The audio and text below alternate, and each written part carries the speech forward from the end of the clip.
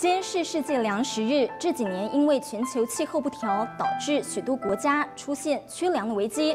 正言上人在今天的志工早会上提到，现今我们面临气候不调、粮食短缺，我们更应该珍惜食物，不要浪费，学习缅甸农民日存一把米的行善精神，在平安的日子里戒慎虔诚，提高警觉。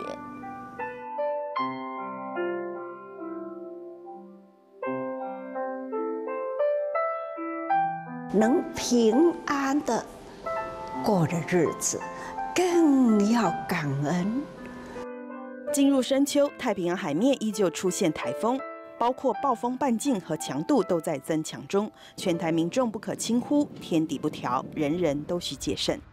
近几年来呀，总是呢，到了深秋或者是呢初冬。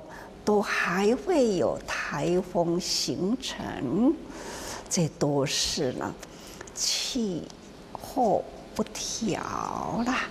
那这我们要时时警觉。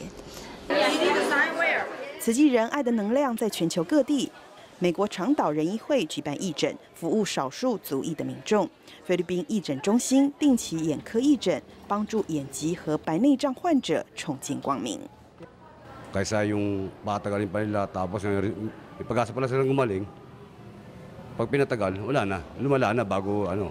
At least kahit hanggang maga, na-check up para malaman nila na gumaling kaagad, hindi na siya lumala. 真的很感恩哦，人世间呐。总是需要呢，要有爱，这种爱的能量啊，不管在哪一个国家呢，都是可以呢，这发挥。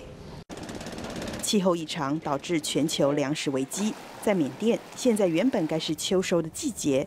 却因为七八两个月的水患，农民收割计划全被打乱。此际与政府合作发放稻种，助农民复耕。等一下看嘛我。快点快点。你在靠。你在靠到地下的，给他们来呢。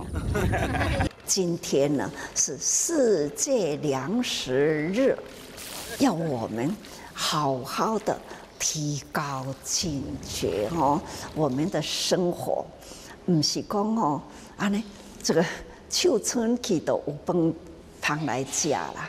真正的我们要想，来得不易呀，啊，粒米滴油啊，都是来得不易呀。大家人爱好好珍惜。爱的能量汇聚，没有完成不了的事情。这样善的循环呐，都是。真欢喜的代志吼，啊，不是做不到的，一定呢要推动做就对了啦。